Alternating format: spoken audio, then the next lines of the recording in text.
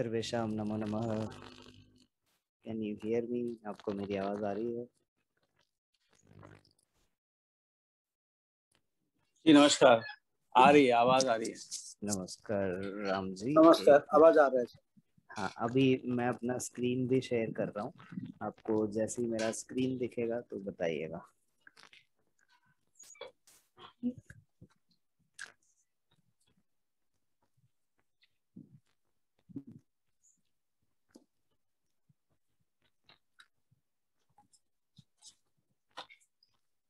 तो अब अधिकतर कक्षा में आठ दस पाँच छ मतलब जब जिसका मूड होता है लोग आ जाते हैं। तो कभी कभी हाँ। ऐसी संख्या बदलती रहती है। हालाँकि क्योंकि हम पहले के सारे वीडियो जितने भी रिकॉर्डिंग है वो सब डालते हैं ग्रुप में। तो लोग वहाँ से भी कवर कर लेते हैं मतलब किसी का छूट गया या कुछ हो गया तो उधर पे मिल जाता है। आप हम्म। जब चाहे तब देख सकते हैं। ठीक है तो अभी देखिए स्क्रीन दिखना चाहिए।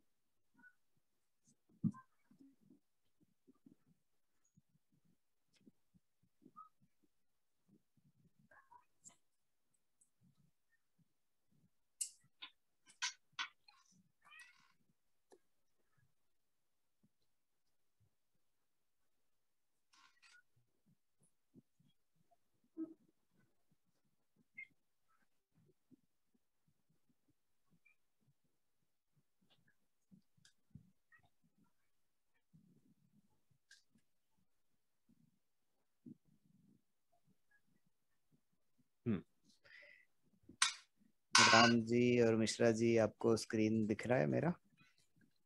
हाँ अभी तो ब्लैंक है। ब्लैंक हाँ ब्लैंक है सही बात है। अब मैं उसमें लिखना चालू कर रहा हूँ।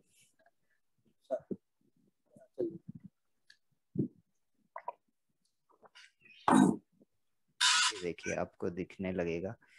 आप हाँ आज के लिए मैं थोड़ी सी इंस्ट्रक्शंस जो है थोड़े से नियम भी बता दूँगा ताकि आप लोगों को आगे के लिए आसान हो।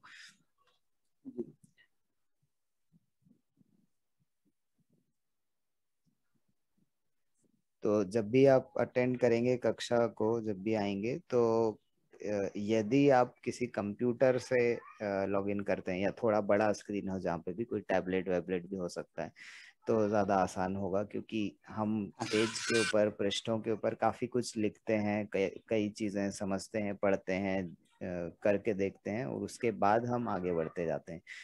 तो कागज़, पेन या कागज़, पेंसिल साथ में हो, कोई भी लिखने के लिए कोई जगह हो और कंप्यूटर पे हो तो ज़्यादा अच्छा है। मोबाइल पे चलेगा लेकिन क्योंकि स्क्रीन छोटा होता है हम काफ़ी सारे अक्षर बीच बीच में लिखते हैं तो हो सकता है आपको कहीं कहीं पे बार बार बड़ा करके छोटा करके ऐसे देखना पड़े। यदि आप वो भी संभाल सकते हैं तो मुझे कोई मुश्किल नहीं है पर आपके लाभ के लिए मैं बता रहा हूँ। ठीक है। अभी सबसे पहली चीज़ कि मुझे ऐसा लगता है कि आप लोगों को तो आ, देवनागरी लिपि जो है आती है। बराबर बिल्कुल आती है। हाँ तो कुछ ऐसे लोग थे मीटिंग में जिन्हों जिनको उसका चुनौती है देवनागरी लिपि की। तो जब वो कक्षा में आएँगे जैसे मुझे याद है कि प्रवीण राय जी ने बोला था। हम्म। तो जब वो हाँ आएँगे तो तब हम उस दिन थोड़ी देर के लिए देवनागरी का भी अध्ययन कर लेंगे। या मैं उनको अलग से कॉल करके उनको अलग से करवा दूँगा। देख लूँगा कैसे होता है। पर अभी हम उसके आगे की बातें करना चालू करते हैं। ठीक है। तो आप जब भी हम कक्षा में आते हैं या जाते हैं। हम्म। सर्वेशम नमो नमः। ये आज हमने अपनी उस मीटिंग में भी किया था, जब हम दोपहर में मिले थे इंट्रोडक्शन के लिए। सर्वेशम नमो नमः। तो ये सिर्फ़ कक्षा का नियम नहीं है, ये आप कहीं भी उपयोग कर सकते हैं। आप अपने घर पे आ रहे हैं, जा रहे हैं ऑफ़िस में आ रहे हैं, जा रहे हैं, कोई मित्र के घर आ रहे हैं, जा रहे हैं। तो नमो नमः मतलब नमस्कार जो हम हिंदी में नमस्कार करते हैं वही संस्कृत में जी ये जो ये जो सर्वेक्षण हाँ। सर्वेक्षण तो बहु बहुवचन हो जाएगा तो अगर हम किसी सभी एक को के बोलेंगे तो ये सभी के लिए हो गया बट अगर मान लीजिए हम किसी एक को बोलेंगे तो क्या सर? तब सिर्फ़ आप नमो नमः कह दीजिए जैसे नमो नमः मिश्रा जी नमो नमः। राम जी। हाँ आगे पीछे अभी थोड़ी बहुत और भी चीज़ें लगा सकते हैं वो मैं धीरे धीरे बताऊँगा। हाँ आप भगवान भी लगा सकते हैं भगवान या भगवती। कौन किससे बात कर रहे हैं उसके हिसाब से। भगवती महिलाओं के लिए उपयोग करते हैं और भगवान जो है लड़कों के लिए। पुरुष के लिए। ये पुल्लिंग है और ये स्त्रीलिंग है।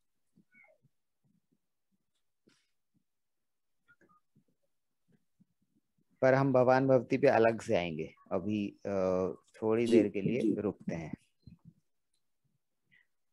और सारी मीटिंग्स रिकॉर्ड होती हैं तो आपको बाद में भी रिकॉर्डिंग्स जो है चलचित्र संरक्षणम मिल जाएगा।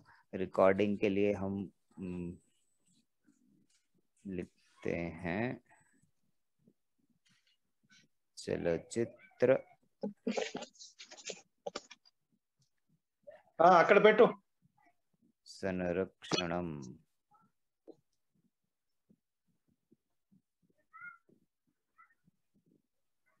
ये शब्द हमने अपनी कक्षा में लगभग एक साल एक वर्ष पहले निर्माण किया था जब हमको आवश्यकता पड़ी थी कि रिकॉर्डिंग के लिए क्या उपयोग करें और भाषा इसी तरह उन्नत होती है धीरे धीरे जब जब हम उसमें नए नए शब्द जोड़ते जाएँ और उनका उपयोग करते जाएँ बढ़ाते जाएँ।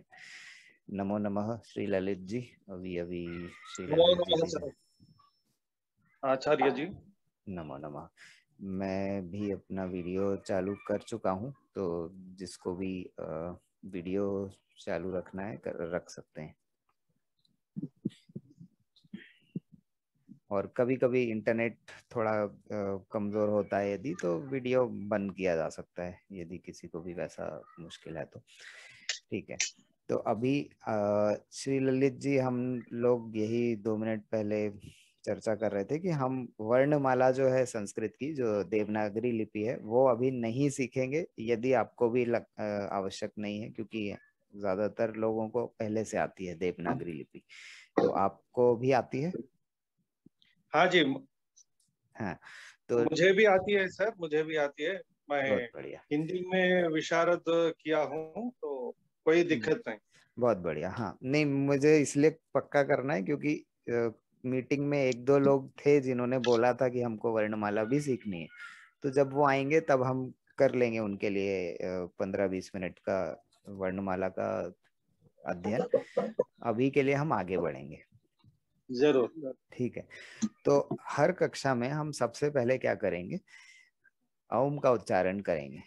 और ओम का उच्चारण करने के पहले मैं उसके बारे में थोड़ा सा जानकारी बताना चाहता हूँ। शायद आप में से कुछ लोगों को पहले से पता हो तो बहुत अच्छी बात है।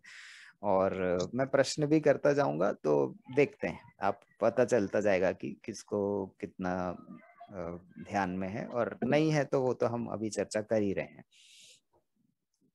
ठीक है। तो ये है हमारा शरीर। मैं थोड़ा सा बनाने की कोशिश करता हूँ।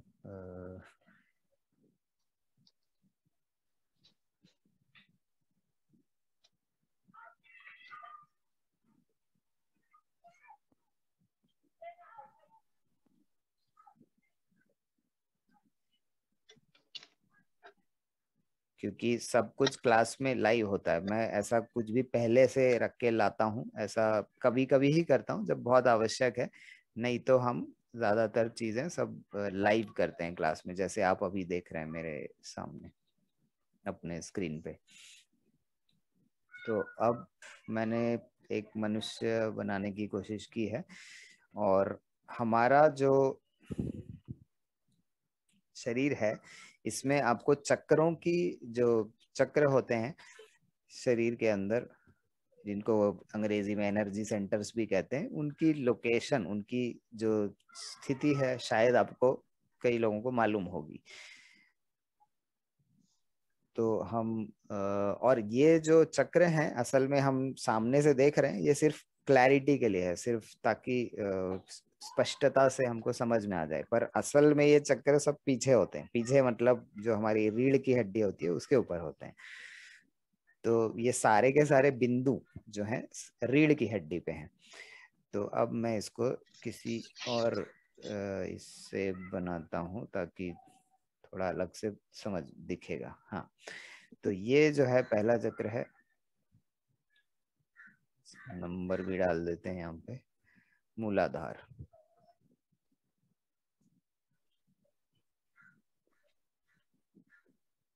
ठीक है, और यहाँ हमारी नाभि है तो नाभि के थोड़ा सा नीचे होता है स्वाधिष्ठान चक्र। दूसरे नंबर का है। स्वाधिष्ठान। और आज की कक्षा में क्योंकि हम ओम का उच्चारण से कक्षा शुरू करते हैं, इसलिए ये समझना आवश्यक है। इसलिए मैं ये जानकारी दे रहा हूँ। हर कक्षा में ये वाली जानकारी शायद नहीं होगी, क्योंकि हम सीधे संस्कृत पे चलेंगे। पर ओम का उच्चारण क्यों आवश्यक है, उसके लिए हम ये कर रहे हैं आज। तीन नंबर का चक्र है, जो नाभि से थोड़ा सा ऊपर होता है। यदि आप उसकी स्थिति देखेंगे तो ये तीसरे का नाम है मणिपुर। मणिपुर चक्र हमारे पाचन तंत्र से जुड़ा हुआ है। इसी को कहते हैं कि यहाँ पे जो है हमारी अग्नि जो, होती है जठर अग्नि या हमारे शरीर के अंदर की जो अग्नि है वो मणिपुर चक्र पे केंद्रित होती है। फिर उसके बाद है अनाहत चक्र जो जिसको हृदय चक्र भी कहते हैं।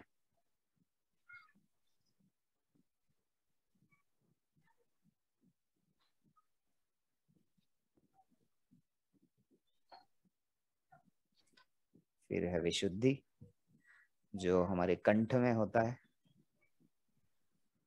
या कंठ के पीछे कह सकते हैं, जहाँ पे जहाँ पर रीढ़ की हड्डी गुजरती है पीछे से। ये विशुद्धि चक्र है। फिर एक सोता हुआ चक्र है, जो हमारा तिलक वाली जो जगह है मथे में भावों के बीच, वो है आज्ञा चक्र। आज्ञा भी कई लोग उच्चारण करते हैं, आज्ञा भी कहते हैं। तो ये आज्ञा चक्र है। और अंततः सहस्त्रार चक्र जो है, जो सातवां चक्र है, वो सिर के ऊपर, टॉप के थोड़ा सा ऊपर होता है तो असल में वो शरीर के बाहर है। लेकिन उसको भी सातवां चक्र कहा जाता है।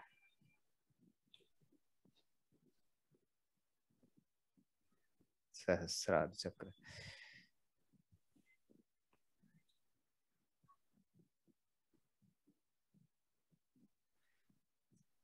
ठीक है तो अब जब हम आ, मैं वापस उस रंग पे आ जाता हूँ। हाँ, तो जब हम ओम का उच्चारण करते हैं तो ओम जो अक्षर है या ओम की जो ध्वनि है ये बनी है कितने अक्षरों से मिलके? तीन अक्षरों से मिलके। तीन अक्षरों से मिलके। अ उ और म। तो अ और उ जो है दोनों स्वर हैं और म जो है एक व्यंजन है।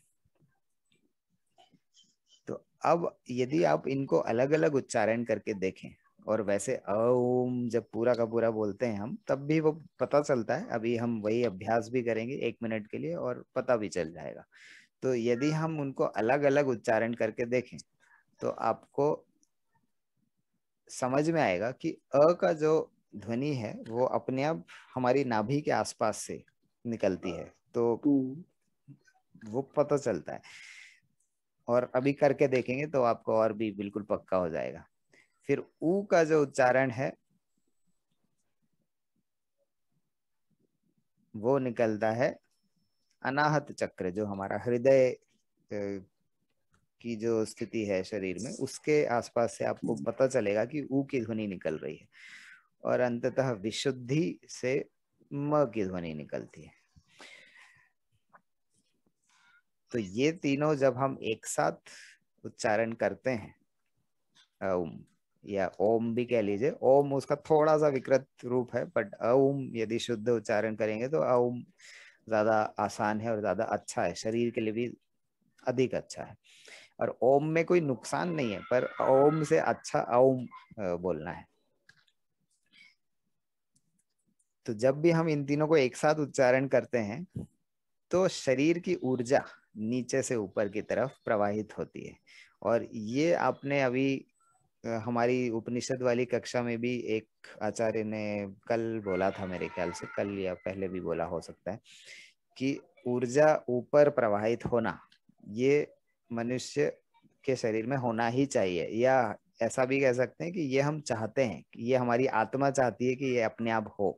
ऊर्जा जो है नीचे से ऊपर की तरफ़ बढ़े और ऊपर की तरफ़ मतलब असल में वो चाहती है कि वो सहस्त्रार चक्र से निकल के ब्रह्म में मिल जाए। पर हम ओम कह के कम से कम इतना उसकी सहायता कर सकते हैं। तो जितनी बार आप ओम या हरि ओम हम लोग जैसे मैं फ़ोन उठाता हूँ या फ़ोन करता हूँ तो मैं हमेशा हरि ओम कहता हूँ। तो जितनी बार भी हम ये करेंगे, ओम का उच्चारण, उतना ही हमारी शरीर की ऊर्जा के लिए बहुत अच्छा है। और ये बहुत सटल चीज़ें हैं, बहुत बारीक चीज़ें हैं, सूक्ष्म चीज़ें हैं। ये हम किसी को यदि आप कहें कि प्रूव करके दिखाओ या इसको दिखाओ कि कहाँ ऊर्जा जा रही है तो ऐसी कोई चीज़ आप दिखाना संभव नहीं है। और ये कल भी हमारे आचार्य ने बताया था कि पश्चिमी विज्ञान जो मटेरियल प्रूफ्स या मतलब प्रमाण के ऊपर कई चीज़ों को आधारित करता है उनमें बहुत हम्म, सारी हम्म। चीज़ें देखनी संभव ही नहीं होती क्योंकि जब आपको सूक्ष्म में जाना है तो उसमें मटेरियल कोई प्रूफ नहीं होते प्रमाण सामने नहीं दिखेंगे तो चलिए अब हम प्रमाण लेकिन धीरे धीरे होते हैं यदि आप ओम का उच्चारण नियमित रूप से करने लगे। तो आपको अपने अंदर अवश्य जो ऊर्जा है वो पता चलने लगेगी। आपको खुद से अवश्य पता चलेगा। और आसपास के लोग धीरे धीरे उनको ध्यान में आता है कि हाँ कुछ तो बदला है। हालाँकि वो लोग बता नहीं पाते कि क्या बदल रहा है। तो बहुत बड़ी चीज़ नहीं है, पर हमको अंदर से पता चलता है और हमको किसी को प्रमाणित करने की आवश्यकता नहीं, क्योंकि ये हम सबकी अपनी अपनी यात्रा है। तो मैं आपको या आप किसी और को नहीं बता सकते कि तुम्हारी ऊर्जा कहाँ पे और तुम्हारी ऊर्जा कहाँ पे सबकी अलग अलग है। चलिए तो अब हम अभ्यास अवश्य शुरू करते हैं। ये जानकारी आप में से किसी को पहले से है? ओम का जो उच्चारण है, उससे अलग अलग हमारे शरीर के अलग अलग हिस्सों से आवाज़ आती है। जी हाँ। बहुत बढ़िया तो किसी किसी को तो मालूम है। चलिए तो अब हम एक बार अ का उच्चारण करेंगे पहले और आँख बंद करके शांति से करना है। आपको कोई जल्दी नहीं है जिसकी जितनी श्वास होती है उसके अनुसार आप आ, ऐसे करके हम बोलेंगे। तो एक बार मैं बोलता हूँ और पीछे पीछे आप बोल सकते हैं म्यूट पे रह, रहना चाहें तो वैसा रह सकते हैं और हमको आवाज़ आए तो भी कोई मुश्किल नहीं है। आपकी आवाज़ आ सकती है आराम से कोई परेशानी नहीं। तो चलिए पहले अ करते हैं और सिर्फ़ ध्यान ये देना है कि आप ये देखिए, या आँख से, आँखें जब बंद करके हम करते हैं ना तो आपको समझेगा कि अ की ध्वनि पेट के आसपास, वो नाभि के आसपास से, वहाँ से निकल रही है और फिर वो अपने आप ऊपर आती है। पूरे शरीर में गूंजती है। तो एक बार हम अ करके देखते हैं। आ...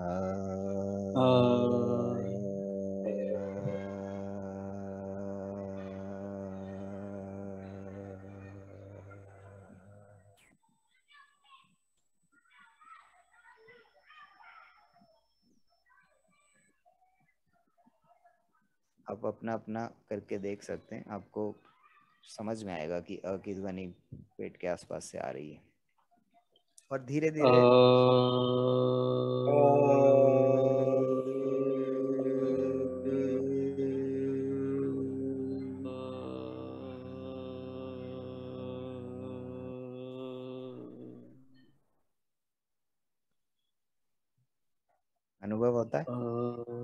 जी एकदम नाभि के पास में से वहाँ पे प्रेशर आया।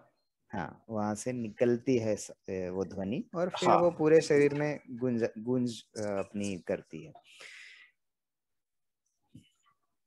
इसी प्रकार ऊ की ध्वनि अब हम अनुभव करके देखते हैं और ये सही में हो रहा है। मतलब इसमें कोई ऐसा नहीं है कि क्योंकि मैं कह रहा हूँ या कोई टीचर कह रहा है कोई और कह रहा है इसलिए आपको लग रहा है कि अ वहाँ से आ रहा है। आप अपने मन से भी करके देखेंगे या किसी को बिना बताए करवा के देखिए। कोई बच्चा हो या आपके बराबर का भी हो, उसको बोलो कि आँख बंद करके अ करो और किधर से आ रही है आवाज़ थोड़ा सा अंदाज लगाने की कोशिश करे कि नीचे से है कि ऊपर से है कि सिर के ऊपर से, कहाँ से आ रही है। तो उनको भी समझ में आएगा कि वो पेट के आसपास से आ रही है। चलिए, अब हम ऊ करते हैं। ऊ जो है हृदय चक्र के आसपास से आती है। Oh.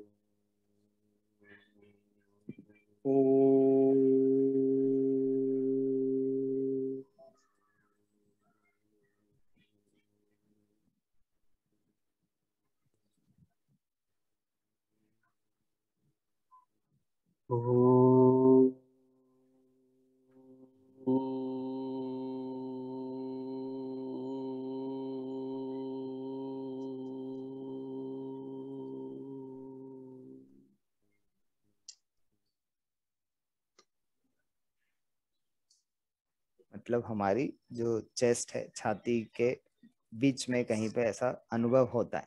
आप हाथ भी रख सकते हैं किसी किसी को थोड़ा सा हाथ रखेंगे तो कई बार ज़्यादा सहायता होती है, आपको समझ में आता है कि किधर से आवाज़ आ रही वो भी चलता है, अनुभव करने के लिए। और अब हम म का उच्चारण करेंगे, जो म का अक्षर है, वो म जो ओम के अंत में बोलते हैं। तो वो जो है हमारे कंठ से निकलता हुआ प्रतीत होगा आपको समझ में आएगा कि यहाँ जा रहा है।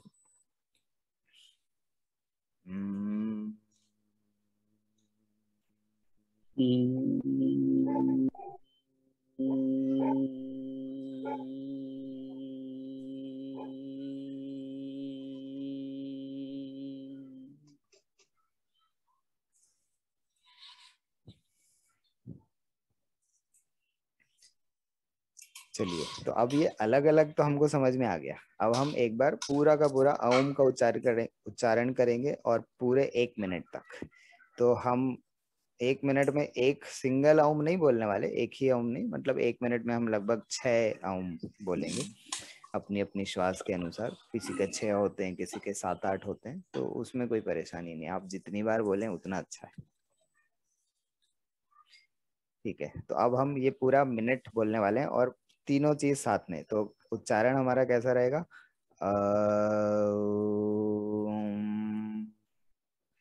तो उच्चारण में सिर्फ़ एक चीज़ ध्यान देने की है कि अ, उ और म तीनों का लगभग बराबर समय तक हम उच्चारण करें। मतलब यदि आप दो सेकंड अ बोलते हैं तो दो सेकंड उ और दो सेकंड म, तीनों का उच्चारण लगभग बराबर हो। मेरा लगभग तीन या चार सेकंड होता है हर एक का।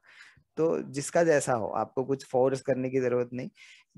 जितनी अपनी श्वास है, उसको लगभग तीन भागों में डिवाइड कर लीजिए तीन भाग बना लीजिए और फिर हम उच्चारण करेंगे। तो लगभग बराबर हो तो अच्छा होता है। शरीर के लिए अच्छा होता है। चलिए, आँखें बंद करते हैं। चलिए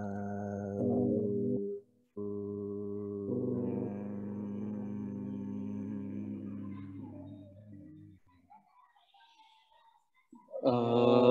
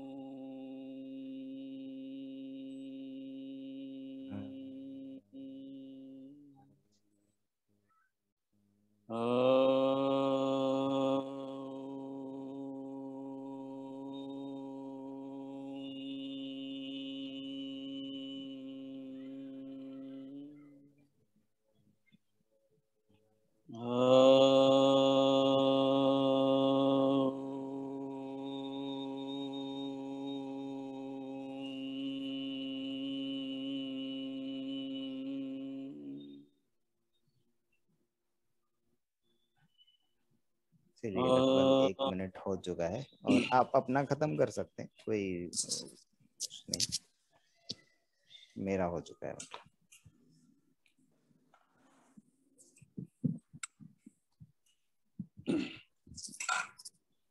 ठीक है तो अब अगली कक्षा से हम को ये सब अलग से पूरा समझने की आवश्यकता नहीं पड़ेगी। हम सीधे ओम का उच्चारण कर सकते हैं और उसका फ़ायदा जो है, लाभ जो है हमको अपने आप मिलता जाएगा। आपको ध्यान में होगा शायद कि कल या परसों उपनिषद वाली कक्षा में भी एक आचार्य ने बताया था कि ओम के उच्चारण पे भी एक पूरी साधना या उपासना होती है, सिर्फ़ ओम का उच्चारण। तो वो यही चीज़ है। आपको अभी शायद अनुभव हो रहा होगा कि हमने एक मिनट के लिए सिर्फ़ ओम का उच्चारण किया है, पर आपके शरीर में तरंगे उठने लगती हैं और ये पता चलता है मतलब ये किसी को भी पता चलेगा। शरीर में एक अलग से ऊर्जा पता चलने लगती है, शरीर में तरंगे आती हैं, क्योंकि आपकी ऊर्जा सही दिशा में जा रही है, ओम के उच्चारण के साथ। तो आजकल हम काफ़ी सारी चीज़ों में इसको सबसे अच्छा उपाय है कि अलग से आप उपासना करें, वो एक अच्छी बात है। कभी भी जब भी आप जैसे पूजा करने बैठते हैं, भगवान के सामने नहा के, नहाने के बाद, स्नान करने के बाद बैठते हैं, वो कर सकते हैं। पर यदि हम कोई भी वस्तु को दैनिक कार्यकलापों में जोड़ लें, दैनिक क्रियाओं में जोड़ लें। जैसे मैं जब भी फ़ोन उठाता हूँ, हरि ओम तो अब वो ओम का उच्चारण वहाँ पे हो गया।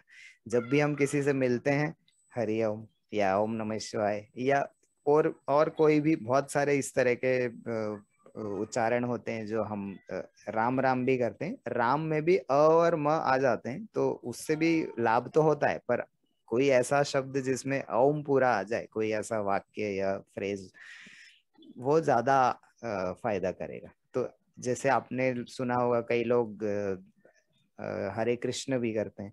तो हरे कृष्ण कहने में कोई नुकसान नहीं है, क्योंकि ईश्वर का नाम हम ले रहे हैं किसी ना किसी तरह, पर कृष्ण शब्द और ओम जिसमें आता है, ऐसा कोई शब्द, उसमें शरीर को कितना लाभ हो रहा है, उनमें ज़रूर अंतर है। तो ओम वाला साथ में कोई हो तो ज़्यादा फ़ायदा होगा, ज़्यादा लाभ होगा शरीर में।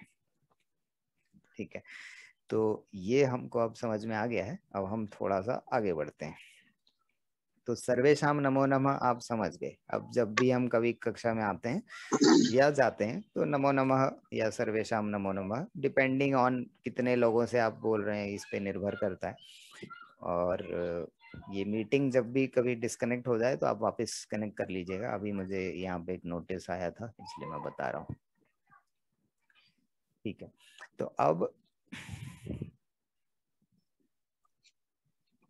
जिस प्रकार ये सर्वेशम नमो नमः है, उसी प्रकार अगला पृष्ठ आता है।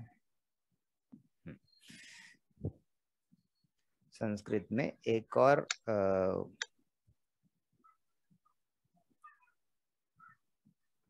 तरीके से हम कहते हैं नमस्कार। तो यदि आप नमो नमः भी कह सकते हैं और आप नमस्कार रह भी कह सकते हैं, दोनों चलेगा। और इसी का हिंदी में स्वरूप आपको पता है, नमस्कार जैसे आप लोगों ने ऑल पहले ही उपयोग किया था। अब यदि हमसे कोई गलती हो जाए या कभी कभी होता है ना, हम कक्षा में एक दो मिनट बाद पहुँचे, गल कुछ या जल्दी से जाना है, बीच में छोड़ के जाना है, तब क्षमस्व या क्षम्यताम जिसका अर्थ है, जैसे हम एक्सक्यूज मी या क्षमा कीजिए, हिंदी में कहते हैं ना, माफ़ कीजिए, क्षमा कीजिए, ये वो एक्सप्रेशन है।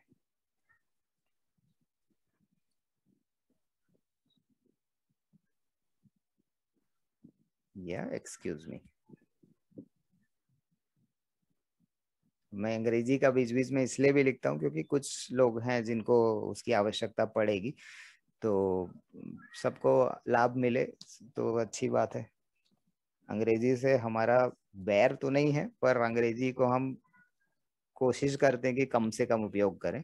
शुद्ध संस्कृत या शुद्ध हिंदी, अब शुद्ध भारतीय भाषाएँ, कुल मिला उद्देश्य है कि भारतीय भाषाओं का उपयोग करें।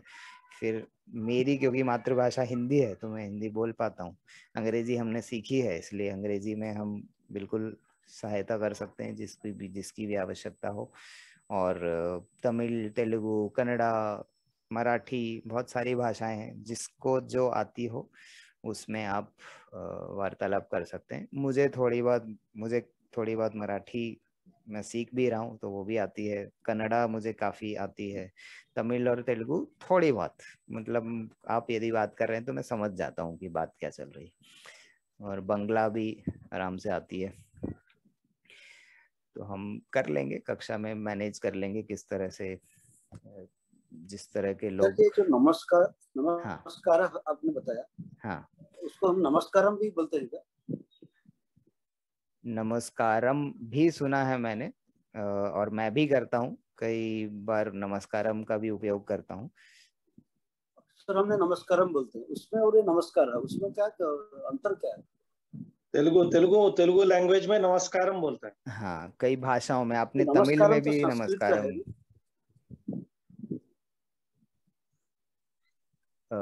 एक मिनट मिश्रा जी बोल रहे हैं ना? सर हाँ। हाँ तो ज़्यादा अंतर नहीं है। देखिए, हमको जब जो आवश्यकता है, हम उसका उपयोग कर ले। इससे ज़्यादा हम कुछ चिंता करने की आवश्यकता नहीं तो क्या होता है, कई और भाषाओं में भी, जैसे तमिल, तेलुगु, कन्नड़ा इवन मराठी और हिंदी में भी बहुत सारे ऐसे शब्द हैं जो संस्कृत के बिल्कुल शुद्ध रूप में वैसे ही के वैसे उपयोग होते हैं। नमस्कार जो है थोड़ा सा बदला हुआ है जैसे हम मराठी और हिंदी में नमस्कार कहते हैं। हम संस्कृत में नमस्कार कहते हैं या नमो नमः कहते हैं। इसी इसी के लिए और भी बहुत सारे शब्द हैं जैसे हम शुभ दिन भी कहते हैं कई किसी को हम नमस्कार करने की जगह सीधे शुभ दिनम भी कहते हैं कि आपका दिन अच्छा हो अच्छा प्रश्न ये था मेरा प्रश्न ये था कि नमस्कारम संस्कृत शब्द है या नहीं? नमस्कारम संस्कृत के जैसा है मतलब संस्कृत जैसा लगता है। जैसे, बट शब्द नहीं हाँ जैसे मैं बोलू मान लीजिए कंप्यूटरम।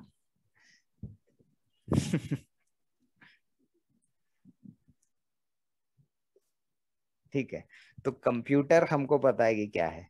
कंप्यूटरम अम जो अंत में लगा दिया ऐसा लगता है जैसे ये संस्कृत का शब्द है।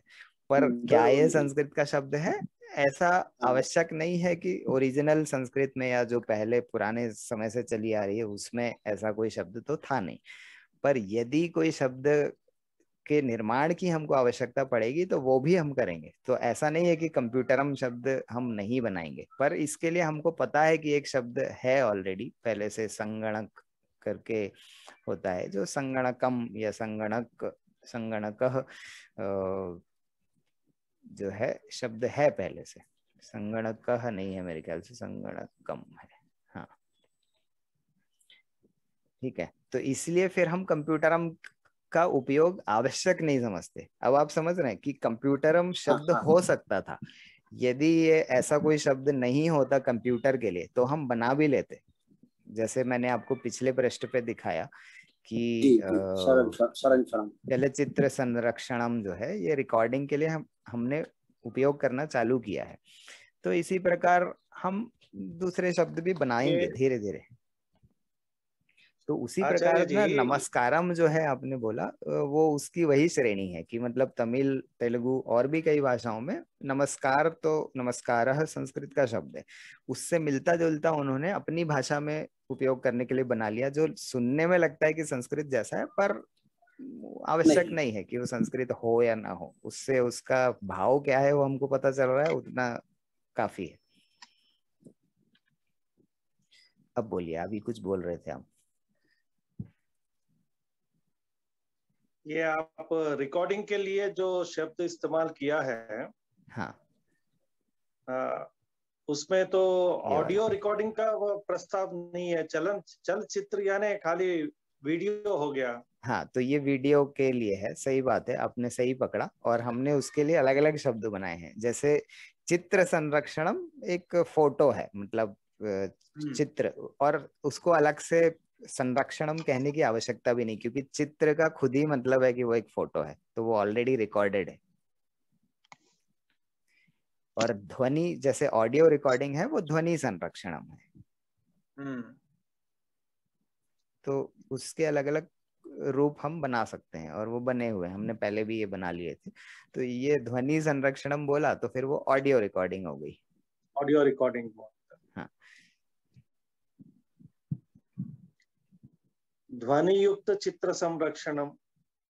चित्र ध्वनि संरक्षणम। हाँ आप हम उसको थोड़ा थोड़ा मॉडिफाई कर सकते हैं शब्द को बदल सकते हैं जैसे भी आपको उपयोग करने का मन है आप कर सकते हैं। उससे बस उसका भाव समझ में आना चाहिए। बाकी कोई मुश्किल नहीं है।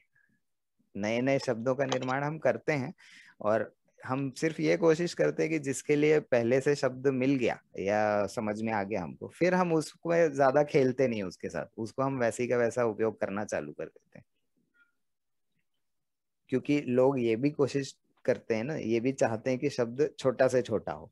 तो अब यदि मैं ध्वनि युक्त या चलचित्र युक्त इस हम्म। तरह का जोड़ने लगूं तो वो लंबा लंबा होने लगेगा। लोगों को वैसे ही नई चीज़ सीखने में थोड़ा समय लगता है तो अब वो बड़े बड़े शब्द दिखने लगे तो कई बार कुछ लोग घबरा जाते हैं।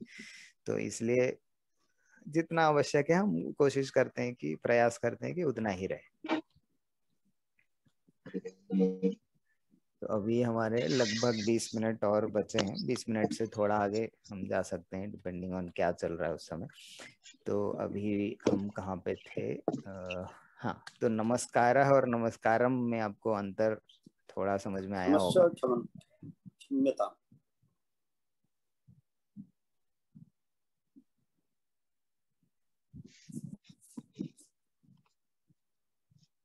अन्य भाषाओं में ऐसा हो सकता है चलता है। तेलुगु में भी कई सारे शब्द मिलते हैं। मेरे कुछ संस्कृत कक्षा के कुछ विद्यार्थी जो कल वाली कक्षा में आएँगे वो लोग बताते हैं कि उनके उसमें भी कुछ शब्द ऐसे आते हैं जो बिल्कुल शुद्ध संस्कृत से बहुत मिलते जुलते हैं पर फिर भी उनकी भाषा के अनुसार वो बनाए हुए हैं।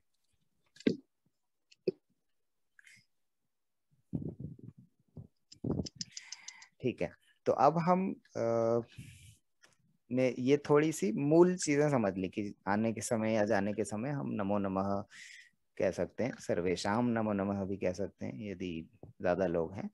कुछ भी गड़बड़ हुई हमारी तरफ़ से क्षमा मांगनी है तो क्षम्यताम या क्षमस्व आप कह सकते हैं। और आगे पीछे जिसको संबोधित कर रहे हैं, उनका नाम या संबोधन लगा सकते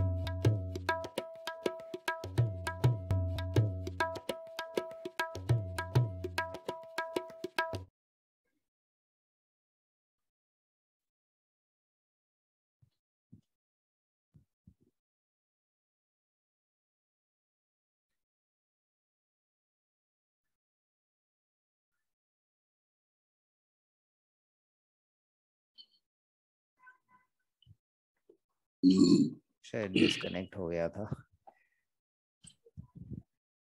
ये वही। हाँ वो फ्री टाइम खत्म हो गया था जूम की टाइम लिमिट था चालीस पर एक विचित्र बात है किसी किसी मेरी कॉल्स में वो अनलिमिटेड टाइम दे देता है। तो कभी कभी ये डेढ़ दो हाँ, हाँ। डेढ़ घंटे की भी मीटिंग आराम से होती है। पर वो कभी मतलब कब होता है ऐसा पता नहीं चलता।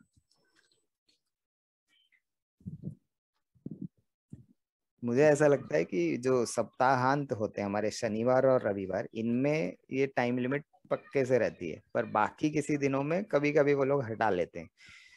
और आप इसको या तो गूगल मीट पे कर लीजिए या जियो मीट पे कर लीजिए उस पर टाइम लिमिट नहीं है। हाँ जियो मीट हम एक्सपेरिमेंट कर रहे हैं अभी। गूगल में क्या प्रॉब्लम हाँ, है कि वो रिकॉर्डिंग नहीं है वहाँ पे। गूगल मीट मेरे ख्याल से रिकॉर्डिंग हो सकता है। अपना ये भी तो गूगल मीट पे तो हो रहा है। हाँ कल का सत्र तो गूगल कल वाला सत्र तो गूगल मीट पे है। वो वो अच्छा, भी तो रिकॉर्डिंग हो रहा है। मुझे किसी प्रबंधक से बात करनी पड़ेगी क्योंकि मैंने पिछली हाँ। बार जब उपयोग किया था तो रिकॉर्डिंग नहीं दिख रही थी। आ, हो सकता है उनका कोई प्रोफेशनल मतलब ऐसा पेड अकाउंट हो इसलिए रिकॉर्डिंग आ रही हो। ऐसा भी हो सकता है ना? हाँ, तो हो सकता है। पूछ के देख लूँगा मैं उनसे।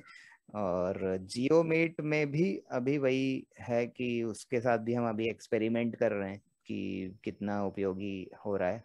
उसमें भी रिकॉर्डिंग मुझे नहीं मिली थी। तो अभी तक रिकॉर्डिंग के हिसाब से दो तीन मिले हैं। एक ये जूम है और फिर वेबेक्स है। वेबेक्स में भी रिकॉर्डिंग हो जाती है और तीसरा है एक तो फ्री कॉन्फ्रेंस कॉल करके नाम है टूल का उसमें भी रिकॉर्डिंग हो जाती है।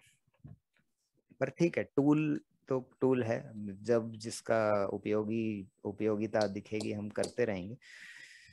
बाकी ज्ञान को बढ़ाते हैं।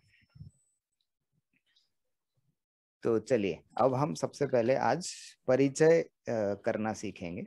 तो और उपयोगी मतलब क्योंकि हम कॉन्वर्जेशनल मतलब बात करने के लिए उपयोगी संस्कृत सीधे सीधे सीखना चालू कर रहे हैं तो कुछ कुछ चीज़ जो जो चीज़ें आएँगी, मैं सबका आपको अर्थ बताऊँगा या सबके सबका उपयोग कैसा है वो सब बताऊँगा तो आप को घबराने की कोई भी आवश्यकता नहीं ठीक है तो मैं शुरू करता हूँ और प्रश्नोत्तर में हम चलेंगे। तो जैसे जैसे आप लोग हम लोग अभी श्री ललित जी भी शायद लॉगिन करें कहाँ रह गए? देखते हैं, ठीक है, यदि आप में से कोई उनको संदेश भेजना चाहे तो भेज सकता है। कहीं उनको ऐसा ना लग रहा हो कि डिस्कनेक्ट हो गया तो चलेगा नहीं। एक मिनट में मैं देखता हूँ, मैं ही उनको एक मैसेज डाल देता हूँ।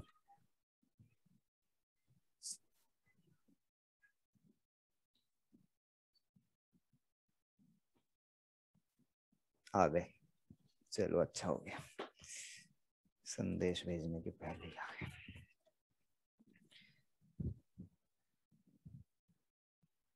नमो नमः श्री ललित जी। नमो नमः नमो नमः। चलिए तो अब हम शुरू कर रहे हैं परिचय ठीक है? तो हम एक दूसरे से बातें करेंगे और प्रयास रहेगा संस्कृत में करने का। और मैं पूरा आपको निर्देश देता जाऊँगा तो कोई परेशानी नहीं होगी और आपको मज़ा आएगा। तो देखते हैं कैसे होता है। मम नाम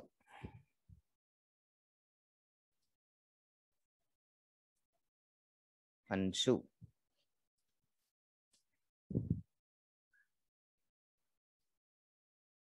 भवतः नाम किम?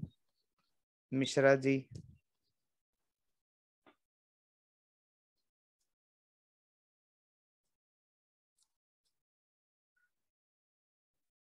तो मिश्रा जी दुखिशा फिर से एक बार फिर से पुनः। मम नाम दुखिशा दुखी शाह श्याम। दुखी श्याम। ठीक है और अब आप प्रश्न पूछिए अगले से मतलब आप राम जी से या श्री ललित जी से किसी से भी एक पूछ वही प्रश्न। नाम किम ललित जी? मम नाम श्री ललित नारायण। मम नाम श्री ललित नारायण। उत्तमम। प्रश्न पृच्छतु। भवतः नाम किम मिश्रा जी मिश्रा जी का तो बारी हो गई। अभी राम जी से पहले पूछ लीजिए नहीं तो वो रह जाएँगे। भवतः नाम किम राम जी मम नाम राम अवस्थी भवत नाम किम अंशु? मम नाम अंशु। उत्तमम उत्तमम। तो अब हाँ तो अब ये एक बढ़िया चीज़ अभी हम एक और सीखे उत्तम हम जब भी लगे कि अरे बढ़िया बढ़िया बहुत अच्छा हो गया तो हम उत्तमम कभी भी कह सकते हैं। बहुत ही ज़्यादा अच्छा लग गया तो हम अति उत्तमम भी कह सकते हैं। तो जैसी आपकी इच्छा हो। अब देखिए इतने दो मिनट के अंदर हम अपना नाम बताना और दूसरे का नाम पूछना सीख गए हैं। अभी एक इसमें ध्यान देने की चीज़ है इन सभी शब्दों का क्या अर्थ है या क्यों यहाँ पे है, ये आपको समझ रहा है? नाम तो नाम है तो नाम तो समझते ही है सबको। अपना नाम भी आपने बता दिया, ये भी आपको समझ गया। सिर्फ़ थोड़े से अंतर हैं, जैसे श्री ललित जी ने जब अपना नाम बताया तो श्री ललित नारायण तो जब भी हम अकारांत पुल्लिंग शब्दों की बात करते हैं। जैसे नारायण, शिव बालक, राम। तो जब भी अ पे अंत होता है जिन शब्दों का, राम, बालक तो इसमें जो अंत है, आप यदि अंत देखेंगे तो ये क है।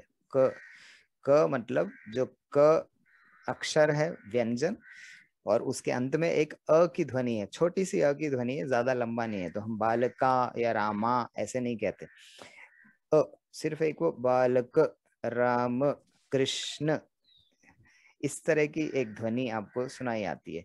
इसमें इसी ध्वनि को लेके एक एक मिनट में मैं एक और बहुत महत्वपूर्ण बात बताऊँगा, पर जहाँ पे भी आपको अकारांत दिखा, ये सब अकारांत हैं, जिसमें भी अंत जो है उनका अ की ध्वनि पे है। छोटा अ। तो तब हम अंत में विसर्ग लगा देते हैं। तो जब भी हम उस नाम को बोलेंगे तो राम, कृष्ण ऐसे हो जाएगा संस्कृत में। ठीक है। अब इस चीज़ को लेके एक बहुत आवश्यक चीज़ है समझनी, बहुत महत्वपूर्ण भी है। आप औरों को भी समझा सकते हैं क्योंकि इस बात को लेके कई बार लोग लड़ने भी लगते हैं, लोगों के बीच में युद्ध हो जाता है। तो कृष्ण, ये जो अ की ध्वनि है अंत में, राम, कृष्ण, रामायण, महाभारत तो ये जो ध्वनि है, हिंदी में वो ध्वनि अधिकतर शब्दों में गायब हो जाती है। वो हिंदी भाषा में जब बोलते हैं तो राम, कृष्ण कृष्ण में तो फिर भी बोलते हैं, पर महाभारत, रामायण इनमें कम हो जाती है। वो ध्वनि जो अंत वाली है, अ की जो ध्वनि है। ठीक है, और दक्षिण भारत में बहुत सारी भाषाओं में तमिल, तेलुगु कन्नड़ा मलयालम में जब राम कृष्ण की बात करते हैं तो उनमें ये जो अ की ध्वनि है ना, इसको आ की ध्वनि की तरह उच्चारण करते हैं, जैसे रामा, कृष्णा। तो अब ये थोड़ी सी सिर्फ़ भाषा का उपयोग है, इसलिए हम इसमें ज़्यादा लड़ाई नहीं मतलब युद्ध की कोई बात नहीं है। पर हुआ क्या है कि संस्कृत का जो मूल शब्द है, कृष्ण, राम, उसमें ये अ की ध्वनि थी, हमेशा से थी। अब बीच में हुआ क्या कि अंग्रेज़ों ने या जिन्होंने भी हमारे कई सारे ग्रंथों को पढ़ के उनको अनुवाद करने की कोशिश की तो अब उनको ये संस्कृत का जो अ है, ये साफ़ साफ़ उनकी भाषा में लिखना समझ में ही नहीं आया। तो अब उनको जो राम लिखना है तो उनने राम ऐसे लिख दिया, या कृष्ण में भी अंत में अ लगा दिया, वो जो ए होता है इंग्लिश का। तो अब उसको पढ़ के लोगों को लगने लगा कि ये रामा है, जबकि ये रामा नहीं है, राम है, क्योंकि शुद्ध जो ओरिजिनल मूल उच्चारण है वो संस्कृत है। तो अब आपको वो अंतर समझ में आया होगा कि रामा या कृष्णा वाला जो उच्चारण है उसमें आ बहुत लंबा बोलने की आवश्यकता नहीं है। वो सिर्फ़ अ छोटा सा उच्चारण बोलना आ, काफ़ी है। संस्कृत के अनुसार शुद्ध उच्चारण वही है। राम कृष्ण तो और कोई भी बीच में आपका यदि कोई प्रश्न है कुछ कमेंट है कुछ बोलना चाहते हैं तो आप बिल्कुल बीच में बता सकते हैं। और मम जो है ये मेरा। ये माई।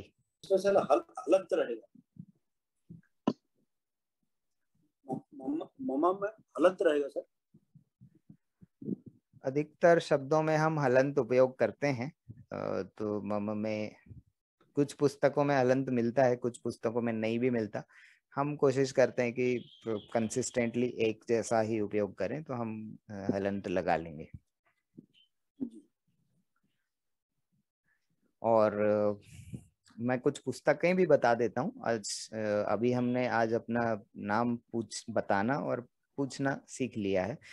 एक चीज़ है कि यदि कोई महिला अपना, महिला से आप यदि नाम पूछ रहे हैं तो आपको बोलना पड़ेगा भवत्याह नाम हम्म, किम। तो जैसे आपने भवतः बोला है ये पुल्लिंग है वैसे ही स्त्रीलिंग में भवत्याह नाम किम।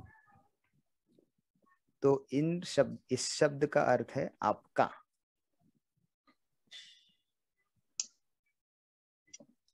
भवत्याह या भवतः इसलिए भवतः नाम किम मतलब आपका नाम क्या है?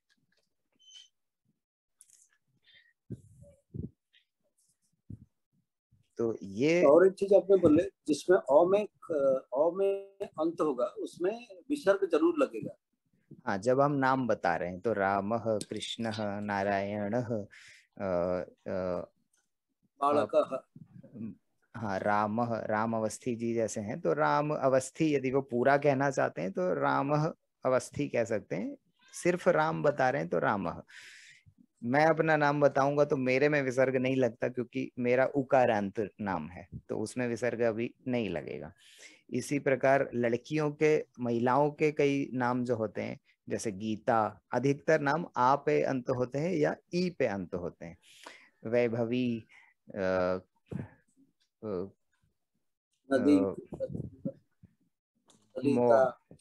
हाँ गीता और कोई भी लड़कियों के नाम सोच के, अंजलि आप जितने नाम सोचिए, या तो आ, लंबा आ जो होता है, बड़ा आ, उस पे खत्म होते हैं या फिर ई पे खत्म होते हैं। तो उनमें भी विसर्ग नहीं लगाया जाता, क्योंकि उसके नियम थोड़े अलग हैं। हम धीरे धीरे जब आगे बढ़ेंगे तो आप जब हम वचन अलग अलग वचन, एक वचन, द्विवचन, बहुवचन मतलब जैसे जो इंग्लिश में हम बोलते हैं, सिंगुलर, प्लूरल उस तरह का जब हम सीखेंगे, तब हमको समझेगा कि किसी किसी में विसर्ग कब लगता है और कब नहीं लगता। पर अभी के लिए इतना बहुत है आज की कक्षा के हिसाब से। तो मैं आपको कुछ पुस्तकों के बारे में बताना चाहता था। तो संस्कृत भारती की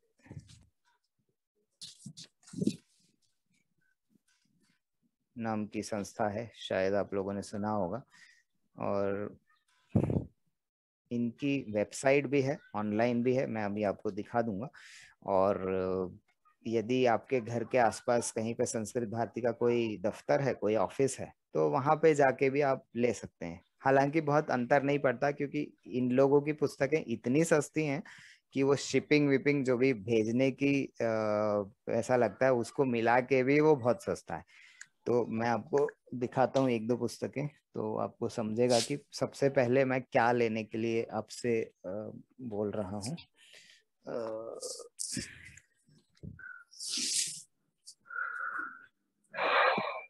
एक तो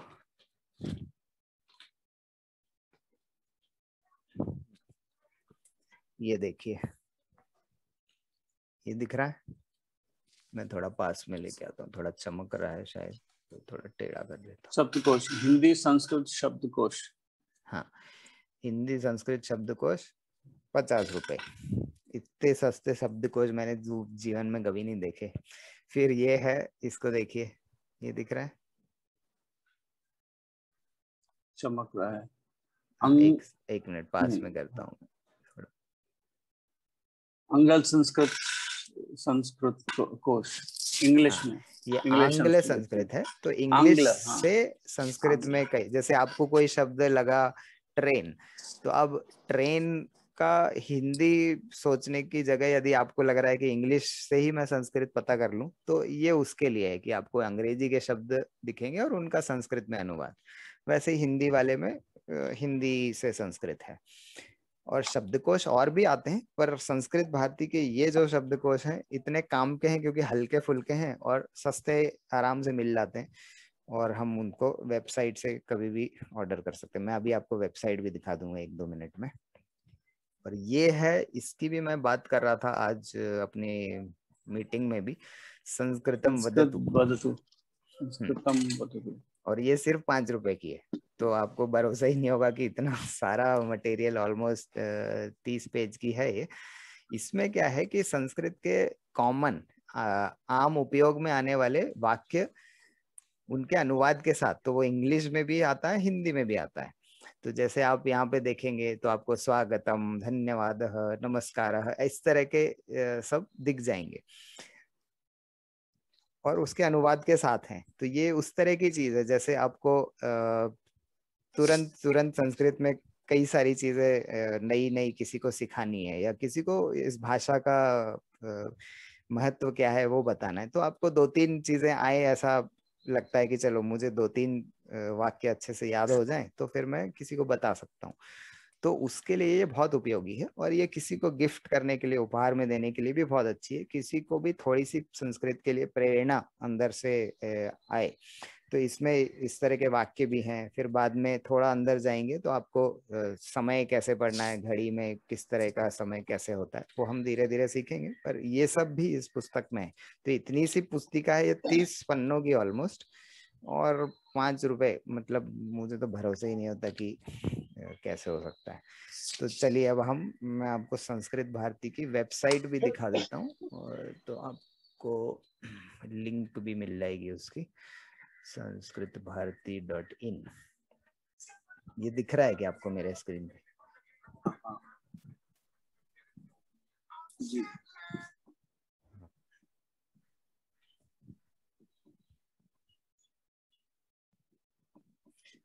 अब आप देखिए, यहाँ पे जो ये वेबसाइट है, पहली बार जब खुलेगी तो संस्कृत में खुलेगी तो पूरी साइट भी संस्कृत में ही है। और इसमें यहाँ पे एक जगह है जहाँ पे वो इंग्लिश में यदि आप चाहते हैं कि इंग्लिश में दिखे तो वो दिख सकती है, पर फिर भी आदत पढ़ने के लिए संस्कृत में पढ़ने में भी आनंद आएगा। तो इसका ये जो बना हुआ है, लिंक पुस्तक विक्रयणम। ये इनकी शॉप है जहाँ पे ये सारी पुस्तकें हम ऑर्डर कर सकते हैं। तो उस पे यदि आप क्लिक करेंगे तो बहुत बढ़िया बढ़िया मतलब इतने बढ़िया बढ़िया इनकी पब्लिकेशंस हैं कि मज़ा आ जाता है। और जब जो चाहे आप ऑर्डर कर सकते हैं। Uh, कुछ चीज़ें जो मैंने अभी बताई आपको उनसे आप शुरुआत कर सकते हैं क्योंकि शब्दकोश हम जब भी कोई भाषा पढ़ते हैं तो उसका शब्दकोश एक ना एक हमारे आसपास हो तो बहुत अच्छा होता है। और शब्दकोश इसलिए भी आवश्यक है क्योंकि ऑनलाइन आजकल कभी कभी आप यदि ढूँढने की कोशिश करें तो कुछ शब्दों के गलत या अशुद्ध अनुवाद भी इधर उधर लिखे मिल जाते हैं। तो किस, जिसको जो समझ में आया उन्होंने लिख दिया। तो ऑनलाइन देखना कोई नुकसान नहीं है, पर कंफर्म या बिल्कुल पक्का करने के लिए कि ऐसा ही है। किसी ना किसी आचार्य से या इस तरह के शब्दकोश में यदि कुछ दिया हो तो ज़्यादा अच्छा होता है। तो मेरे साथ भी ऐसा कई बार होता है कि कुछ कुछ शब्दों के लिए हमको अपने और ऊँचे आचार्यों से पूछना पड़ता है और सब ठीक है मतलब हम हर, हमेशा किसी ना किसी से सीख सकते हैं और कई बार ऐसा होता है कि आपको कोई छोटा बच्चा भी कुछ नई चीज़ सिखा दे तो इसमें छोटे बड़े का कुछ नहीं है, जहाँ से ज्ञान मिलता है हम बिल्कुल ले सकते हैं आराम से। तो इसमें आपको शब्दकोश दिख जाएँगे और कभी आपको लगता है कि सर्च करने के लिए इंग्लिश वाला ज़्यादा आसान है क्योंकि आप इंग्लिश में टाइप कर सकते हैं यहाँ पे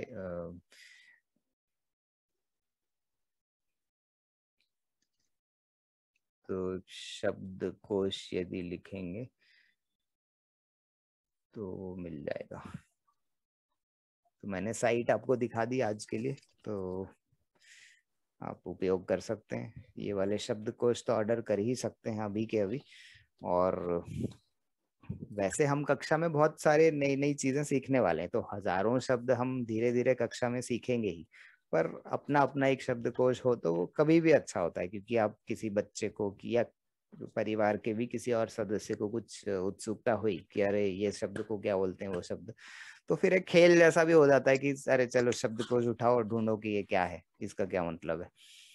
तो अपने पास घर पे रखा हो तो बहुत अच्छा है। और ये सबसे आसान ये चीज़ है कि ये दोनों मिला के भी आ, होता है पचहत्तर रुपए और ये पाँच पाँच रुपए की हैं तो हम पाँच छः हर ऑर्डर में हम पाँच छः इसको भी जोड़ देते हैं संस्कृतम वदतु। गिफ्ट विफ्ट देने के लिए भी हो जाती है। तो एक हमारी कॉपी है, बाकी हम साइड में रख देते हैं कि जब भी किसी को मन हुआ तो हम गिफ्ट उपहार में दे देंगे।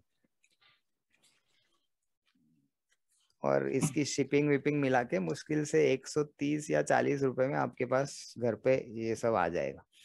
तो ये बड़ी उपयोगी चीज़ें हैं। इसको मैं यहाँ पे अभी साइड में रख देता हूँ।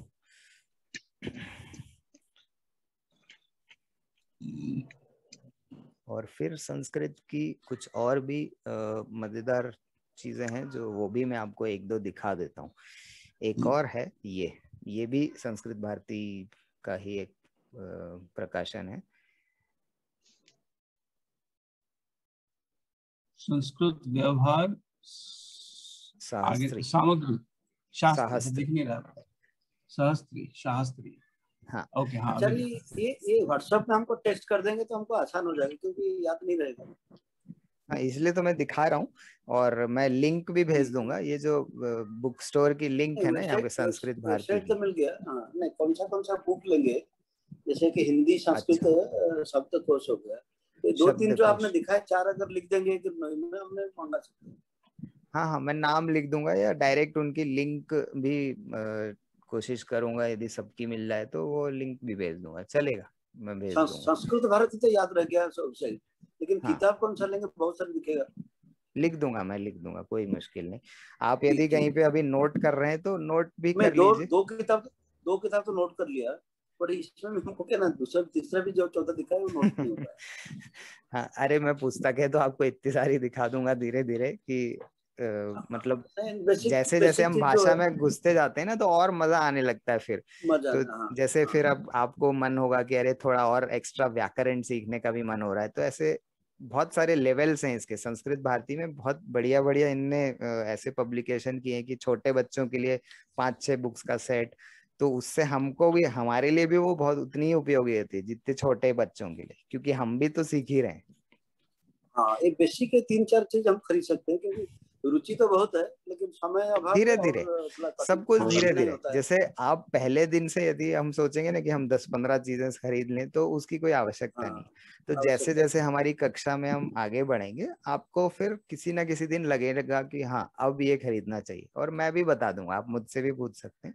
तो मैं भी कुछ नई नई चीज़ें जैसे आती हैं। अभी एक आई है काल बोधिनी जो जब हम हमारा एक और बैच है जो कल शाम के लिए जो चलता है उसमें हम अभी भूतकाल भविष्य काल की भी थोड़ी बहुत बातें करने लगे हैं धीरे धीरे तो फिर तब ये वाली पुस्तक जो काल बोधिनी नाम की है वो भी तीस पैंतीस रुपए की है तब फिर वो काम में आती है।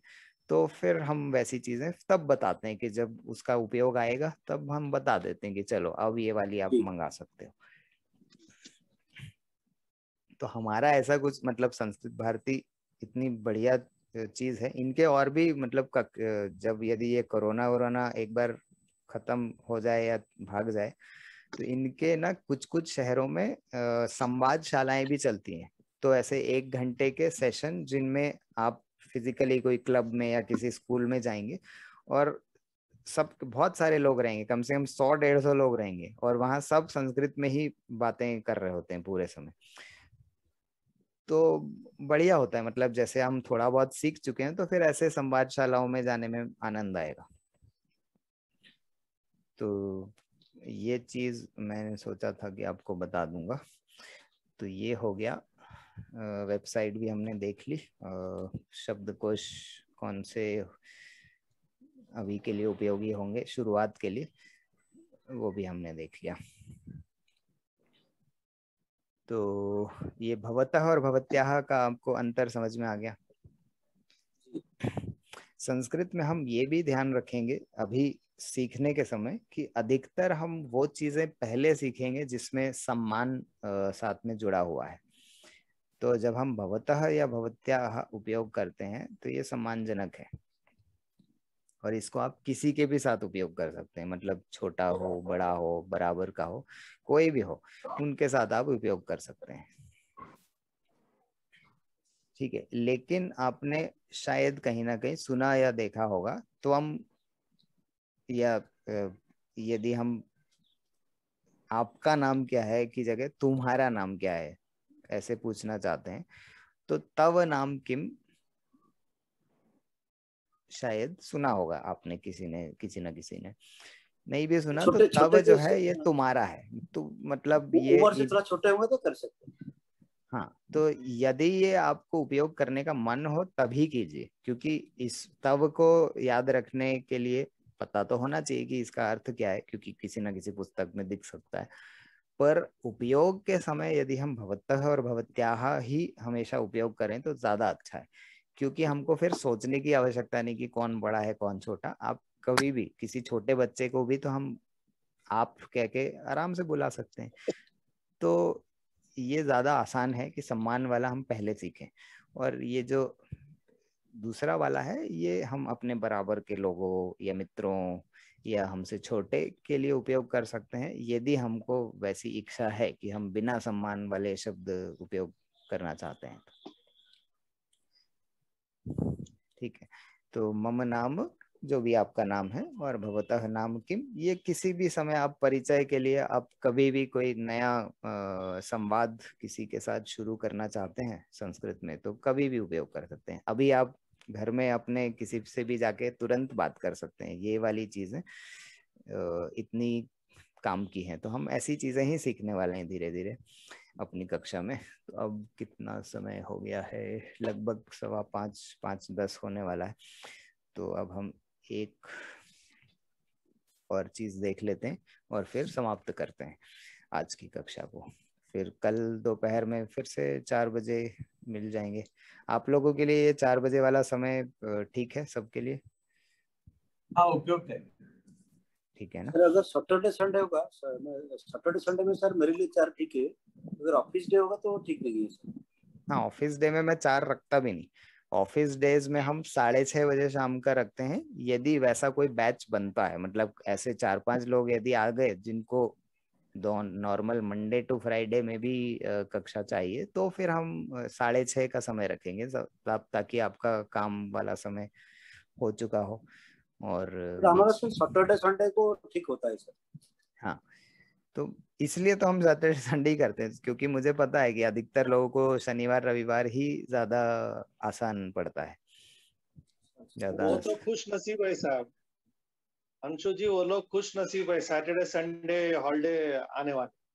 हमारे जैसे लोग तो पूरे सात दिन काम करना पड़ता है।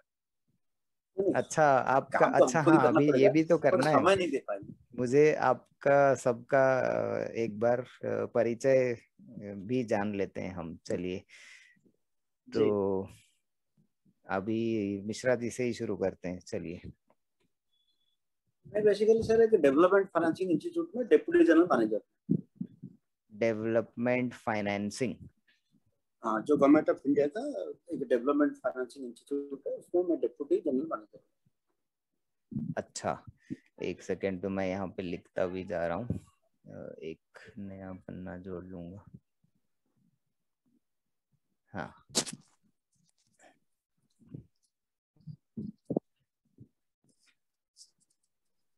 डेवलपमेंट फाइनेंसिंग में फाइनेंस डेवलपिंग फाइनेंसिंग इंस्टीट्यूट में डिप्टी जनरल मैनेजर बोले ना yes. हाँ और भी कुछ आप जो कहना चाहे बता सकते हैं मतलब प्रो, प्रोफेशनली आप क्या करते हैं वो मैं समझ गया आगे हाँ। और कहाँ कहाँ के रहने वाले हैं मिश्रा जी? कहाँ के रहते मैं एक्चुअली हमें पूरी उड़ीसा का पूरी का मैं हूँ ओरिजिन मेरा पूरी है उड़ीसा का। अरे वाह। मैं अभी अहमदाबाद में पोस्टेड बहुत बढ़िया। जगन्नाथपुरी की हम यात्रा करने वाले हैं। जब एक बार कोरोना का काल समाप्त होगा। कभी, कभी सर कभी भी आएँगे सर हमको फ़ोन करिएगा। जाने से पहले मुझे फ़ोन करेगा वहाँ पर मंदिर के लिए मैं इंतज़ाम करा लूँगा सर। कोई ना कोई एक आपके साथ रहेगा। हम तो आपको ही लेके चलेंगे। हाँ अगर मैं किसी और को तो ले जाएँगे? हाँ, हाँ हाँ बहुत तो, तो, बहुत सुन बहुत सुंदर है। मैं मंदिर जाके आया हूँ हाँ, और वहाँ का प्रसाद प्रसाद लेने के बाद में जो शांति महसूस होती है भव्य प्रसाद। अद्वितीय है अद्वितीय है। हम्म, वो प्रसाद का मैंने भी बहुत सुना है। हाँ। बोलिए। वहाँ पर पंडित लोग थोड़ा तकलीफ़ देते हैं। उसी को ये करने के लिए हमारा कोई जान पहचान है जो मंदिर के अंदर है मैं बता हाँ पहचान अच्छा। वाला कोई रहता है तो बिल्कुल हाँ, वो जाके करवा के आपको सब करा के छोड़ देगा बाहर तो हम ऐसे तीन चार जगह एक साथ करने वाले हैं तो हम आपको भी पहले से बता देंगे यदि आप आ पाए तो सब साथ में चलेंगे। एक विशाखापट्टनम है पुरी है और कोणार्क है ये तीनों जगह हम लोग साथ में करना चाहते हैं क्योंकि आसपास है थोड़े तीन तीन चार कोणार्कपुरी तो नज़दीक है लेकिन विशाखापट्टनम थोड़ी दूर है सर। पाँच छह घंटे के दूरी के अंदर ही है मेरे ख्याल से सब आपस में। हाँ हाँ हाँ। नहीं कोणार्क से पूरी देखिए पूरी में आपको अगर पूरी जाना है मैं जब जाएगी मैं बता दूँगा सर क्योंकि कोणार्क पूरी हार्डली तीस किलोमीटर का दूरी है मैंने आधा दिन में कोणार्क हो जाता है अच्छा, और शाम को पूरी हो जाता है। अच्छा अच्छा। ठीक है वो योजना बना लेंगे क्योंकि विशाखापट्टनम इसलिए भी बीच में आया क्योंकि हमारे यहाँ से एक सीधी ट्रेन चलती है विशाखापट्टनम की।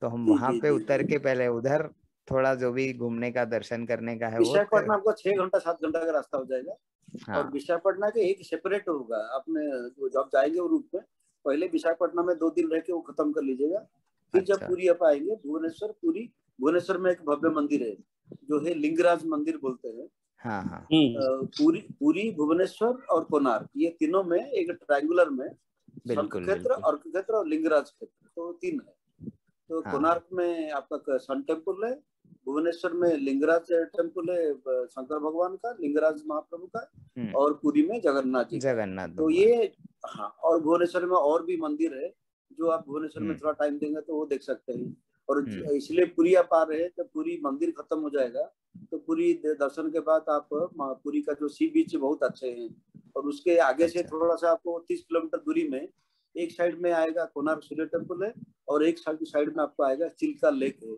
चिल्का लेक चिल्का बहुत भव्य लेक है। हाँ वो भी हाँ, तो देखना आवश्यक है। वो एक नेचुरल लेक है और बहुत बड़ा नेचुरल लेक ऑफ़ एशिया तो हम्म। वहाँ पर आपको डॉल्फिन और बर्ड्स ये सब मिलता है। तो जब आप आएँगे सर मुझे बताइएगा अपन योजना बना लेंगे हम जब भी आएँगे तो हम बात कर लेंगे। जी जी बता दूँगा मैं। बिल्कुल बहुत बढ़िया मिश्रा जी धन्यवाद। अब राम जी जी मेरा ना, नाम बेसिकली राम अवस्थी है हाँ। राजस्थान जोधपुर से हूँ मैं बिलोंग करता हूँ अच्छा। पर आ, हाल में या बॉर्न एंड ब्रॉटअप मुंबई में ही हूँ कॉमर्स ग्रेजुएट हूँ फाइनेंस कंसल्टेंसी का काम है मेरा तो जैसे ही हम्म। मिश्रा जी ने कहा डेवलपमेंट फाइनेंसिंग इंस्टीट्यूट में तो थोड़ा सा मेरे कान खड़े आप दोनों के कान हाँ। खड़े होंगे एक दूसरे की सुन के तो मैं फाइनेंशियल कंसल्टेंट हूँ। बेसिकली पहले इनिशियली खाली मैं रिटेल लोन्स करता था होम लोन्स या इस तरह के। अब मैं any any sort of financial consultancy हो चाहे वो ओटीएस करना हो चाहे प्रोजेक्ट फंडिंग हो चाहे इक्विटी uh, लेना हो तो एक टीम बना रखी है जिसके अंदर कंसोर्टियम है ऑफ़ एक्स एक्स बैंकर्स और चार्टर अकाउंटेंट्स और तो उनके साथ में मिलके फिर हम अच्छा। लोग पूरा फाइनेंशियल वो देते हैं स्पिरिचुअल इस सब्जेक्ट में बहुत रुचि है हम्म। तो इसके लिए जितना भी समय खाली मिलता है या जब निकालना चाहता हूँ तो मैं ये सोचता हूँ कि जितना अपनी संस्कृति को समझ लूँ क्योंकि ब्राह्मण हूँ बच आवश्यक भी है ब्राह्मण हूँ तो बचपन से आ, आ, आ, पापा ने मम्मी ने आ, वो पहले तो आ, वो कि तुम्हें माला फेरनी ही पड़ेगी ये होगा वो होगा जो जो डांट के वो, वो हम्म, माला हम्म। फेरना सिखाया हम्म। अब उसका फ़ायदा पता चल रहा है कि उसके कारण से काफ़ी काफ़ी चीज़ें वो है और अब उत्सुकता बहुत जागृत होती है कि इसको जितना आगे बढ़ा सकूँ बढ़ाऊं तो इसके लिए और जितना हम जानेंगे उतने ही औरों को समझा पाएँगे। एग्जैक्टली। exactly. तो आ, मतलब जो जितना भी समय मिल पा रहा है मैं ये आ, ये करता हूँ। और थैंक्स कोरोना काल के लिए कि जिसमें जब जब ज़्यादा समय मिला तो अब मालूम पड़ने लगा कि मैं तो अब हफ़्ते में एक ही दिन ऑफ़िस जाता हूँ। बाकी मैं वर्क फ्रॉम होम ही कर लेता हूँ। तो मेरा जो ट्रैवलिंग का तीन घंटे चार घंटे चले जाते थे या ऑफ़िस में जाके यूँ ही दो घंटे तीन घंटे यूँ ही बर्बाद होते थे। हाँ। वो सारा वो सारा सारा घर पे ये क्रिएटिव चीज़ों में आ, मिल जाता है। सो so, ऐसा है मेरी बॉम्बे में रह रहा हूँ मेरी वाइफ एडवोकेट है। आ, दो बच्चे हैं मेरा बेटा आ, गेम डिज़ाइनर है। So he is basically games तो डिज़ाइन मुझे उनसे बात करनी होगी। मैं आपको कॉल कर लूँगा बाद पुणे से ही पुणे से ही बालेवाड़ी से कोर्स किया था। Now he is working with Rockstar Games में। अच्छा। और मेरी डॉटर उससे छोटी है। उसने अभी ग्रेजुएशन कंप्लीट किया तो she supports me in my business तो अच्छा। छोटा सा परिवार है। संयुक्त परिवार में बिलीव करते हैं तो आ, अभी भी जो माँ बोलती है घर में वो होता है एक मेरा छोटा भाई है तो। हम लोग सब साथ में रहते हैं। अच्छा, मिलजुल के रहते हैं। हाँ जी। ठीक है तो मैं आपसे तो अलग से संपर्क करूँगा गेम डिज़ाइनिंग के बारे में मुझे आपके पुत्र से बतियाना होगा। हम लोग कुछ ऐसे गेम्स डिज़ाइन करने करवाने की या करने की कोशिश कर रहे हैं जो हमारी संस्कृत सांस्कृतिक कथाओं से जुड़े हुए हैं रामायण महाभारत कृष्ण की कथाओं से हनुमान जी की कथाओं से। तो आ, शायद कुछ ना कुछ उनके यदि उत्सुकता का होगा रुचि का होगा तो हम देखेंगे कैसे हो सकता है। बिल्कुल मैं बात करवा दूँगा आपकी। हाँ जी हाँ जी। क्योंकि अभी ऐसा भी होता है कि कई नए बच्चों को आ, जब तक जानकारी ना मिले तब तक उनको दूसरी तरह के चीज़ों में ज़्यादा उत्सुकता रहती है। मार धाड़ वो खून खराबा टाइप के गेम्स पर हाँ, ठीक है हाँ. अलग अलग रुचि हो सकती है। तो शायद उनको उनसे मदद मिल सके। तो चलिए श्री ललित जी। हाँ नमस्ते। नमस्कार। अभी नमस्ते नमस्कार। नमस्ते। मेरा तो हैदराबाद में पैदाइशी है सर अभी पिछले साठ साल से हैदराबाद में हूँ अच्छा। और प्रोफेशन के हिसाब से मैं इंजीनियरिंग कॉलेज का इलेक्ट्रिकल इंजीनियरिंग डिपार्टमेंट का प्रोफेसर हूँ हम्म। और इंटरमीडिएट के टाइम पे संस्कृत का सेकंड लैंग्वेज के हिसाब से पढ़ा था उसलिए रुचि है और हम्म। रुचि को जारी रखने के लिए पूरे प्रयास कर रहे हैं हम्म। और हिंदी में विशारद का एग्ज़ाम पास की थी। और आ, अभी मेरा भी छोटा परिवार है। हम पाँच भाई एक बहन है। मैं ज्येष्ठ हूँ। हम्म, हम्म। और मेरे दो बेटे हैं। तो उनका उनका नौकरी के हिसाब से उन्होंने जीवन गुजारा कर रहे मैं हैदराबाद का रहने वाला बहुत बढ़िया। हैदराबाद तो मेरा आना जाना बहुत होता है। यदि नॉर्मल दिन चल रहे हो तो फिर आना जाना काफ़ी होता है। हाँ हम्म। अभी तो सब कुछ बंद पड़ा है। पर ठीक है बहुत बढ़िया है। तो जब भी ऐसा कुछ बनता है तो हम लोग संपर्क में तो रहेंगे। और वैसे भी कक्षा में आएँगे तो ये सब चीज़ें सांस्कृतिक जितनी रुचियाँ हैं अपने आप धीरे धीरे पता चलती रहेंगी। जी। हम लोगों के, क्योंकि अभी इस तरह के हमारी जो संस्कृत के और भी बैचेस हैं, उनमें भी इस तरह की योजनाएँ बनती रहती हैं कि कोरोना एक बार समाप्त ये सब हो तो उसके बाद हमारी पहली यात्रा हम करने का योजना बना रहे हैं, द्वारका सोमनाथ और गिरनार गुजरात की तरफ़ पे फिर हम चलेंगे पुरी की तरफ़ जगन्नाथपुरी, कोणार्क तो ऐसे सांस्कृतिक यात्राएँ हम करने का योजना है। तो करेंगे जैसे जैसे आएगा बताता जाऊँगा मैं। तो जो भी जब शामिल हो पाए उसमें सम्मिलित हो पाए तो अच्छा लगेगा सब।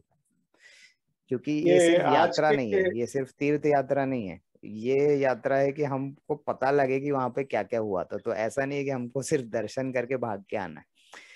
जैसे हम यदि सोमनाथ में जाएँगे तो सोमनाथ में एक एक चीज़ पता लगाएँगे कि वहाँ क्या हुआ था, लोगों से बात करेंगे, जितना कुछ है, फिर हम अगले स्थान पे चलेंगे और वहाँ की फ़ोटो वोटो लेंगे, वीडियोस बनाएँगे, उनको बाद में हम पब्लिश भी करेंगे कि हमारी यात्रा में ऐसे ऐसे चीज़ें थी। तो हाँ अभी आप कुछ बोल रहे थे? ये अभी आपने आज का उपनिषद का कक्षा है आज शायद नहीं तो होगी ना मंडे टू फ्राइडे ही है। आज नहीं पच्चीस को जाती। तो अब सीधे सोमवार को रहेगी। सो so, सोमवार का लास्ट क्लास होगा शायद ना? नहीं नहीं सॉरी सॉरी लास्ट क्लास का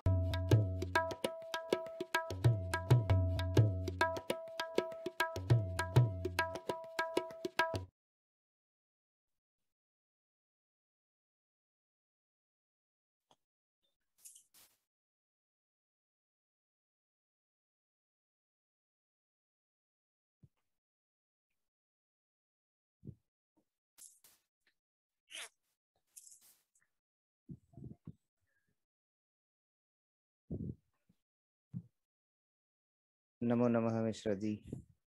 नमो नमः। हमारे तो उपनिषद क्लास तो बीस दिन का ना सर? हाँ वो लगभग जून पंद्रह तक चलेगा। हाँ जून में है जाएगी। वो तो लंबी कक्षा है उसमें काफ़ी कुछ है। अच्छा है मतलब इत, इतना सारा हमको एक बार में सीखने मिल रहा है समझने मिल रहा है तो अच्छी बात है। संस्कृत कैसा हो जाए वही सब चीज़ें मैंने चिंता है। चिंता क्या है? अब चालू हो गया है तो अब तो हो ही जाएगा। हाँ हाँ हाँ हाँ। नहीं बहुत बचपन से भी रुचि है। कैसे कैसे थोड़ा कैसे? अरे मेनली इसके ऊपर डर है इसलिए हो नहीं पा रहा है। थोड़ा डर खत्म हो जाएगा तो आहिस्ता आहिस्ता। हाँ एक बार दिशा मिलने लगती है समझ में आने लगता है कि अच्छा ज़्यादा कठिन कुछ भी नहीं है। फिर और देखिए हम कक्षा को इसलिए हमेशा चालू रखते हैं क्योंकि लोगों को एक माहौल मिलता है साथ में आपस में बात करने का। आ, और हम सारे मस्ती में करते हैं। जैसे अभी हम लोगों ने प्रश्नोत्तर किए थे तो उस तरह के ही प्रश्नोत्तरों से हम सीखते जाते हैं। कोई जो भी नई नई चीज़ें सीखते हैं एक दूसरे से प्रश्न करते हैं एक दूसरे को उत्तर देते हैं। कब किस चीज़ की आवश्यकता है आपस में चर्चा करते हैं उसकी और फिर बातें करते हैं। तो किसी को कोई ऐसे डरना या कोई शर्म जैसा कुछ परेशानी नहीं होती जिसको जो है वो अपना पूछता है बताता है और कोशिश करता है। तो वैसे हम सीखते हैं।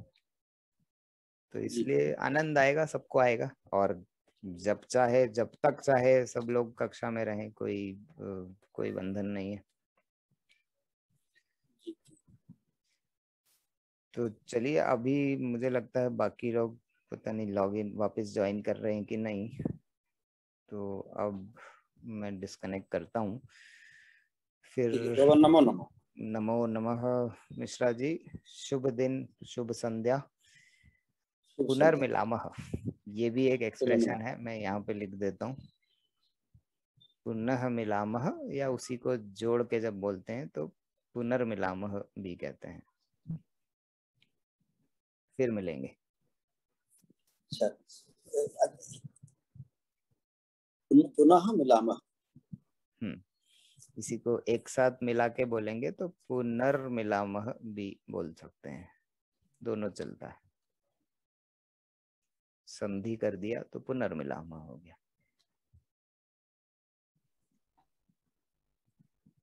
संधि एक के... रहता है कि जो हाँ। हमारा जो बाकी संधि तो हो गया सर। अच्छा लेकिन इसमें हमको थोड़ा सा कभी कभी दिक्कत होता है, जैसे मात्रा में, किसमें छोटी, किसमें बड़ी, ये थोड़ा सा दिक्कत होता है। उसके लिए कोई साधना है क्या?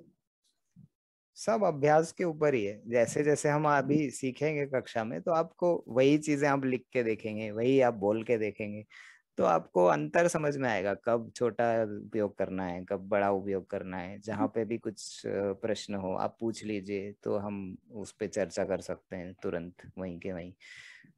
तो वो आदत पड़ जाएगी धीरे धीरे वो सब कुछ अभ्यास के ऊपर है कोई बड़ी चीज़ नहीं है अभ्यास से सब होता है।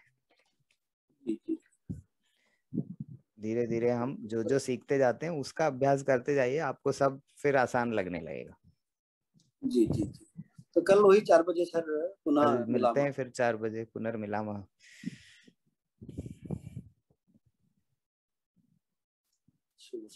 नमो नमः मिश्रा जी। नमो नमो नमो नमो।